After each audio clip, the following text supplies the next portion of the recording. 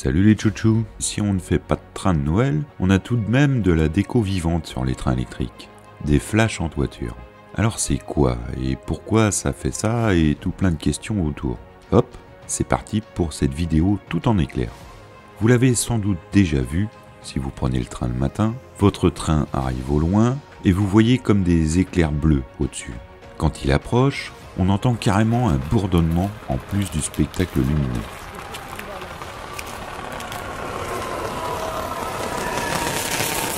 C'est bien pire quand un train part devant vous. Là, on dirait que sa toiture est en feu.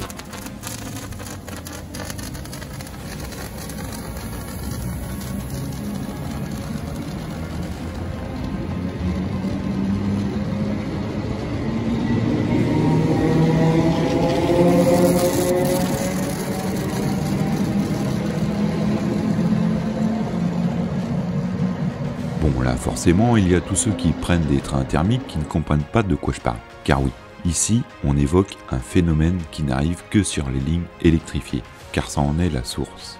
Alors, retour sur les lignes électrifiées.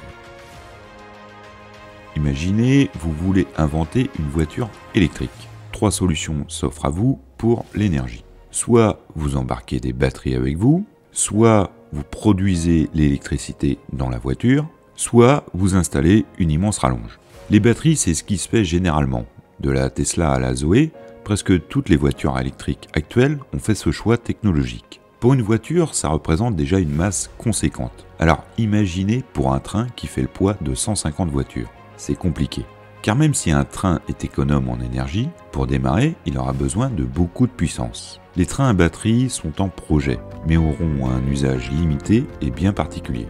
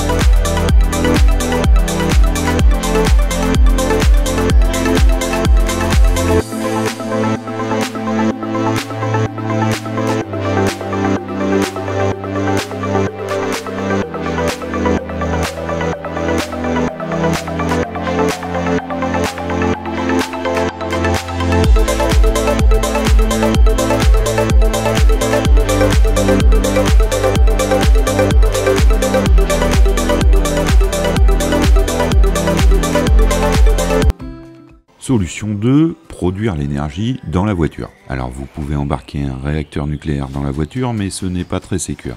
Non. Là on parle par exemple des voitures à hydrogène. Bah pareil pour les trains, c'est en route mais encore au tout début du truc. Donc pas très abouti. Il se déplace à plus de 100 km/h et peut accueillir jusqu'à 330 passagers à son bord. Et c'est peut-être le train du futur. Sa particularité, il génère sa propre électricité grâce à une pile à hydrogène. Ce train conçu spécialement pour les lignes non électrifiées a été construit par le groupe français Alstom et c'est le premier modèle au monde à être homologué. Alors euh, oui, je sais, vous pouvez aussi tenter de capter la foudre, mais là, faut déjà un bon coup de bol.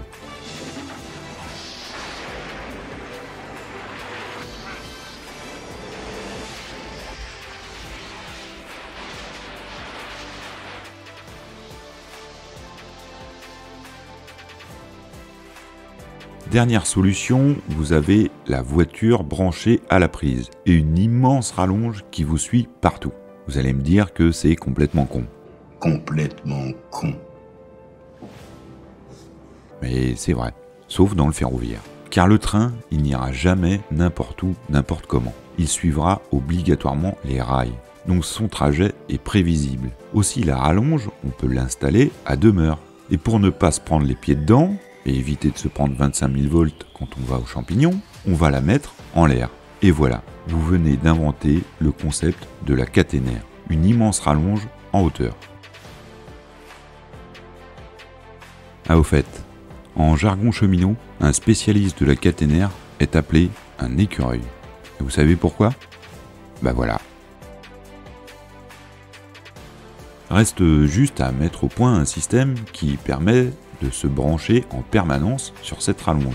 Et ça, même en roulant. Une prise, c'est grosso modo une rallonge dénudée. On vient mettre en contact la rallonge et la voiture avec le réseau. Alors imaginez une rallonge dénudée et la voiture qui est en contact avec par l'intermédiaire d'un frotteur. Bon, forcément, on va mettre deux ou trois sécu pour que les passagers ne se crament pas. Mais voilà, vous avez votre voiture électrique sur rallonge. En transposant ça au train, vous venez d'inventer le pantographe. Bravo. L'électricité, je le connais. Je le connais. Et vous l'avez appris tout seul Tout seul, ah, avec l'expérience. Je me suis appris sur le tas.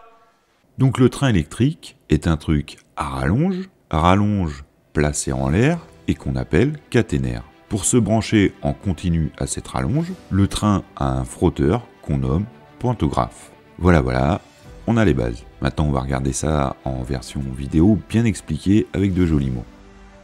Pour rouler, certains trains ont besoin d'électricité. Tout au long des presque 15 700 km de lignes électrifiées, des poteaux installés à intervalles réguliers supportent tout un ensemble de conducteurs à base de cuivre, la caténaire. Le captage du courant par les trains s'effectue par les pantographes, ces bras métalliques articulés que l'on voit sur le toit des locomotives ou des voitures. Montés sur des suspensions, les pantographes possèdent en leur sommet des archets sur lesquels sont montées des bandes en carbone qui permettent d'assurer le contact avec la caténaire tout en limitant l'usure du fil. En glissant régulièrement sur la caténaire, les archers captent le courant puis transmettent l'énergie électrique au moteur. Alors notre histoire d'amour panto-caténaire fonctionne super bien. Mais dans un couple, il y a toujours de l'usure. Vous savez ce que c'est. Aussi, pour ne pas tomber dans la routine, la caténaire n'est pas placée en ligne droite. Elle ondule de droite à gauche. Et inversement. Et. Du coup, le point de contact n'est jamais le même avec le panto. Ça permet au couple de moins user, enfin au panto surtout. L'usure est répartie sur toute sa largeur au lieu d'être sur un point fixe. Car oui, à choisir dans le couple, on préfère que ce soit le panto qui use que la caténaire, car une bande d'usure de panto, ça se remplace plus facilement qu'une caténaire. Le conducteur pilote le pantographe. C'est lui qui le monte et le descend suivant les besoins. À chaque tension, son panto, car en fonction de l'intensité, les pantos ne seront pas dimensionnés pareil. Aujourd'hui, la très grande majorité des trains ont des palpeurs. Quand on monte un panto, un capteur va mesurer si la tension est bien celle attendue. Si ce n'est pas le cas, on ne pourra pas fermer le circuit électrique. Mais sur d'anciens trains, pas de palpeur. En cas d'erreur du conducteur, ça donnera ça.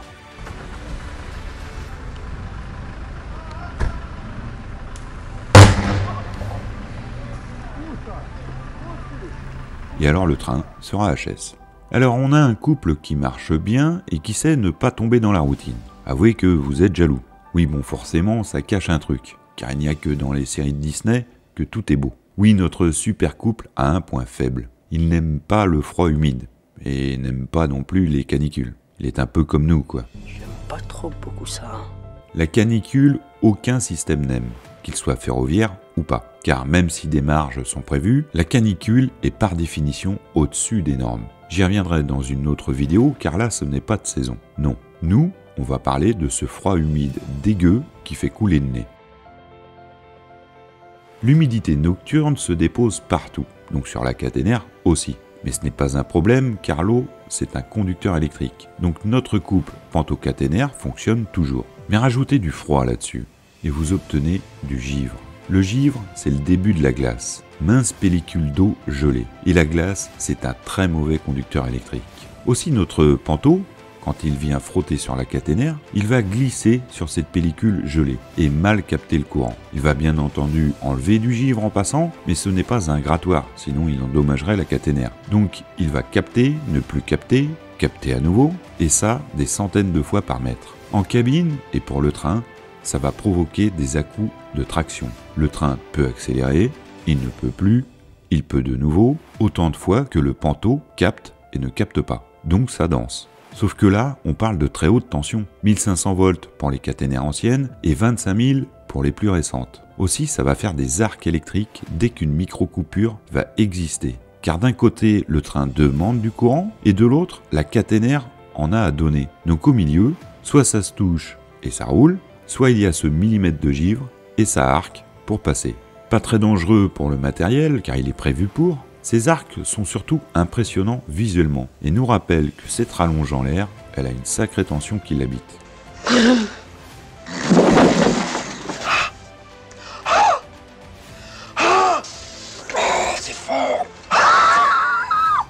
Si ça va au-delà du simple givre léger, ça pourra carrément empêcher le panteau de capter le courant et donc au train d'avancer.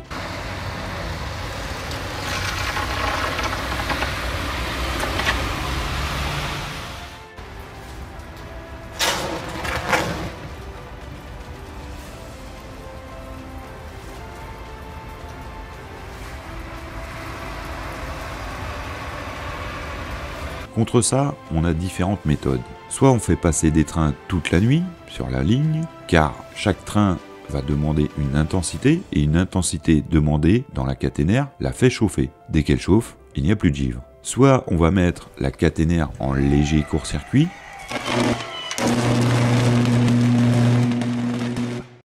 Transformer un fil en résistance de grille-pain, ça le fait chauffer. Alors ça se faisait à une époque, mais beaucoup moins aujourd'hui, car ça use la caténaire. le 220 volts, elle fait monter petit à petit la tension, ça chauffe, ça chauffe, et ça finit par rougir. C'est chaud, la preuve, Encore une autre méthode qui est là employée de manière particulière sur certaines caténaires qui ont un très faible voltage. Je veux parler par exemple des caténaires de tram-train qui sont à 750 volts. Elles, elles ont encore plus de risque de givre du fait de la faible tension et la faible intensité. Aussi, on va placer par-dessus un fil qui va servir de résistance, comme le grille-pain, et venir chauffer la caténaire. Ainsi, ce n'est pas la caténaire qui usera, mais le fil, et le fil, il est prévu pour chauffer. Donc là qu'on peut voir sur l'image en fait à Babinière, avant qu'on trouve la solution de dégivrage, donc on voit que le, le, le- comment dire, le, le givre crée un arc électrique en fait parce que la- le, tram-train euh, capte mal le, courant dans la caténaire. Parce que le, givre crée un genre d'isolement en fait entre le fil de contact et le pantographe qui fait que ça crée des, des- des problèmes de captage et des, au niveau des engins des tram-trains des, disjonctions et à un moment donné euh, le, tram-train se met en sécurité euh, donc il ne peut plus circuler en fait quoi, il se bloque. Si vous voyez. Donc, C'est un câble chauffant qui est, on voit ici, qui est clipsé sur euh, le fil de contact euh, ici, maintenu donc par les, clips là, et qui permet de chauffer euh, le fil de contact pour le maintenir en fait à une température suffisante pour que le givre ne se fixe pas en fait sur le fil. Donc, et contrairement aux autres systèmes en fait existants, ça permet de circuler, ça permet aux circulations, euh, disons commerciales, de passer sans, sans, problème, sans avoir de coupure. Autre méthode, euh, déposer un produit anti-givre sur la caténaire de manière préventive. Alors là, on a été chercher dans les pays scandinaves les produits qui vont bien, mais ça s'est révélé très moyennement efficace.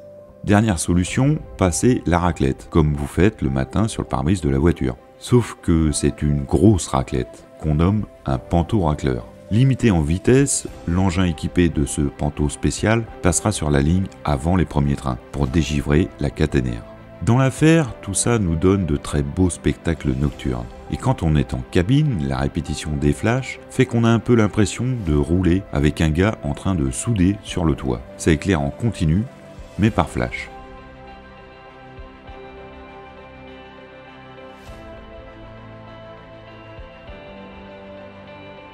Tout le restant de l'année, notre couple panto-caténaire vivra sa vie, aura lui aussi ses divorces, et là, ça fera beaucoup de dégâts. Usure obstacle, le couple ira parfois au clash. Si le pantographe rencontre un obstacle, il va casser. Non pas qu'il est pas solide, mais avec la vitesse, la force vient tout exploser. Une fois qu'il est rompu, il va continuer à toucher la caténaire et là il va l'embarquer avec lui. Il va former à ce moment-là ce qu'on appelle dans le jargon une pelote de laine. Il vous est peut-être déjà arrivé de vous retrouver bloqué dans un train suite à un incident caténaire. La circulation des trains s'arrête car le courant ne passe plus. Les batteries du train permettent de maintenir l'éclairage pendant une demi-heure, mais le chauffage et la climatisation s'arrêtent. Cet incident peut avoir plusieurs causes. Des conditions climatiques extrêmes, des chutes de pierres et de branches, une cause technique. L'intervention peut durer plusieurs heures en raison des mesures de sécurité à prendre contre les risques d'électrocution et de chute. Une fois la réparation terminée, les trains peuvent repartir progressivement. C'est bon, vous êtes toujours là ou je vous ai perdu? Bon, on va conclure. Le train est comme nous, entre histoire d'amour, clash et réconciliation. Quand on le regarde de l'extérieur, on a toujours du mal à comprendre pourquoi ce couple vit mal et pourquoi il ne se réconcilie pas plus vite. Quand on est ce couple, on a toujours du mal à comprendre pourquoi les gens autour n'arrivent pas à capter que ça va mal. Le train, c'est la vie, enflammée, complexe, incohérente parfois, mais tellement humaine. Allez, levez la tête le matin quand il fait froid et humide. Levez les yeux au ciel. Soyez astronogeek. Vous verrez une histoire d'amour perturbée et éclairante. Et si vous avez aimé que je réponde à des questions que vous ne vous posiez pas forcément, abonnez-vous pour pas louper les prochaines. Allez, tchou tchou